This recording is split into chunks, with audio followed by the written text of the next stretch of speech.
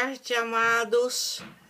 Então, nós vamos hoje falar sobre essa simpatia, que é você amar muito você, porque aí a prosperidade e o dinheiro vem, com toda certeza. Porque tem muitas pessoas que querem a prosperidade, querem a autorrealização, mas não se ama ficam se comparando com as outras pessoas e até mesmo fica falando de si mesmo, pondo defeito, põe defeito em tudo, põe defeito é, no corpo, põe defeito na vida, põe defeito nos seus talentos. É uma baixa estima tão grande que aí eu faço a seguinte pergunta: se nem você te valoriza, quem é neste mundo que vai te valorizar? O dinheiro gosta de pessoa que tem autoestima, que acredita em si mesmo, que acredita nos seus talentos.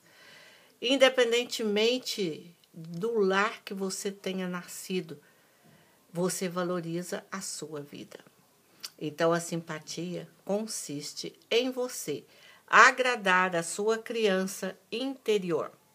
Se você é mulher e quando na infância gostava de boneca, você vai arrumar uma boneca para você. Se você gostava era de carrinho, vai arrumar um carrinho para você. Então você vai arrumar um brinquedo e vai presentear para sua criança interior mesmo que você já tenha idade adulta, não importa, e vai colocar umas notinhas de criancinha perto deste brinquedo. E todos os dias vai dizer: Prometo cuidar de mim, porque eu sei que a autoconfiança é que vai fazer com que eu prospere na vida. Eu volto às minhas origens e cuido desta criança interior que ficou por muito tempo abandonada. Eu acredito em mim e prometo cuidar de mim.